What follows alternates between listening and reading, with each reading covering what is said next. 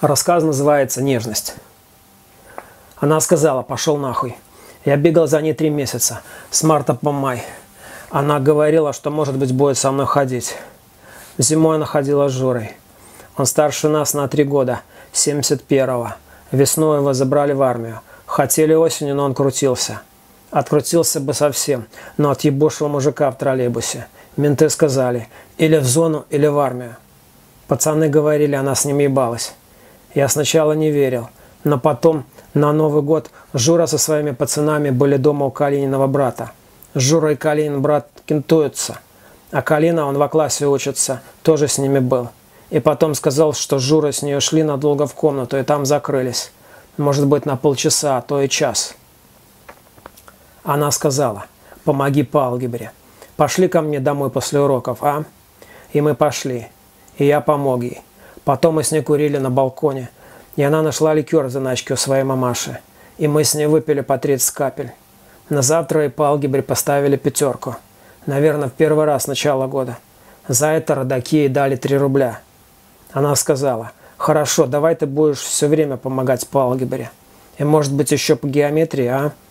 И может быть я похожу с тобой? Я спросил, а Жура? У меня с ним все. Я часто предлагал, давай поедем в кино, в Октябрь или в Родину, потом в Пингвин, мороженого, там коктейль молочный. Не, давай как-нибудь потом. Сегодня я опять ей предложил, а она мне, пошел ты нахуй, ты мне надоел. Ты думал, я с тобой серьезно стала бы ходить? Ты на своем районе нулевой. Я вообще давно хожу с Калиной старшим. Мы ходим не в пингвин, а в ресторан «Турист», ты знаешь? Просто я хотела, чтобы ты мне помогал по алгебре. А сейчас это уже не надо, потому что я уйду после десятого. Я в педучилище пойду. Я в том году не поступила, потому что блата не было. А сейчас мамаша нашла блат. Так что мне алгебра теперь до жопы. И ко мне не надо больше приходить. Если придешь, я не открою. И тогда я ее юбну. Со всей силы.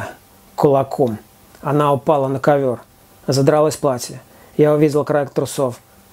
Из носа потекла кровь. Она заплакала. «Ты, блядь, сломал мне нос. Ты знаешь, что Калина с тобой сделает?» Я понял, мне пиздец. Так страшно было только один раз, когда мы с Пыром лазили на девятиэтажку. Мы с ним дошли до края крыши, и он меня схватил, как будто хочет скинуть вниз. Я чуть не обосрался. Она дотронулась до носа, вымазала пальцы кровью. «Что ты стоишь? Иди отсюда вон!» «Прости, я не хотел!» «Уебывай!» Что, блядь, делать? Что, блядь, делать? Что, блядь, делать? Калине старшему 20 лет. Учится в технаре. Ходит за район с 8 класса. Мета 82. Занимался боксом три года. Занимался бы и больше, но отпиздил тренера. Не своего, а другой группы. Правда, тренер пьяный был, но все равно. Что, блядь, делать? Он меня убьет. Летом можно будет сидеть дома, никуда не выходить. Родакам что-нибудь напишу. Заебешься, конечно, дома сидеть, читать, смотреть телевизор. Хотя чемпионат мира. Только до каникул еще две недели. Так что все, пиздец. Спи спокойно, Саша. Умер смертью храбрых. 1974-1990. Выхожу на улицу. Уже темно. Заебись. Хотя бы дойти до дома. Ну а там все похуй. Иду быстро, почти бегу.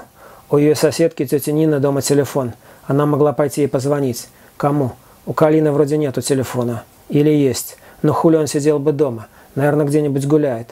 Иду по улице. Двор дома рядом со столовой. Столовая. Наверное, свадьба. Мужики в костюмах. Бабы. Все бухие. Курят. На остановке на рабочем никого. Может сесть на тралик и проехать остановку. Только заебешься его ждать. Иду во двор. Дом, где аптека. Навстречу Шуня с того дома. Мы здороваемся. Иду дальше. Во дворе, где промтоварный дед ебется с мотоциклом. Снял какие-то детали, разложил на тряпке. Все. Вот и моя пятиэтажка. И пиздец. Калина, Лысая и Андрон. Блядь, не может быть. Блядь, откуда они знают? Я подхожу. Здороваются. Видно, что уже бухие. Лысый спрашивает. Малый, деньги есть? Не, нету. Калина лыбится. Это ты хотел ходить с моей малой? Выебать ее хотел, да? А если мы тебя сейчас выебем, а? Я пошутил, не сцы.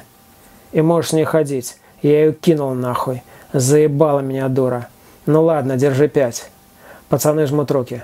Я иду в подъезд. Они на улице про что-то говорят. Смеются. Я поднимаюсь. Родаки сидят у телевизора. Съезд народных депутатов или что-то вроде этого. Я закрываюсь в комнате. Магнитофон. Кино. Бля, покурить бы. Есть заначки сигарета, но не при родаках. А вдруг Калина подъебнул меня? Что они вообще здесь делали? Ни разу их не видел возле своего подъезда. В дверь звонят. Я слышу, да, он дома. И шаги. Дверь открывается. Мент участковый. «Что ты сделал?» – говорит мамаша. КПЗ. Мужик с разбитой мордой спрашивает. «А тебя за что, пацан?» Отпиздил бабу. «Заебись. Так им и надо, сука. Молоток. Сейчас с тобой покурим. Здесь вообще нельзя. Но это похуй. И от них, бля, сигареты спрятала в жопе. Ты ведь куришь? А потом съебемся нахуй. Ты меня, бля, слушай. Я хуевому не научу. Все будет заебись.